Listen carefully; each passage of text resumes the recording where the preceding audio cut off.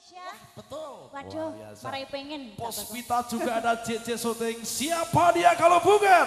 Wulan Andita New Pesona Istimewa. Mantap.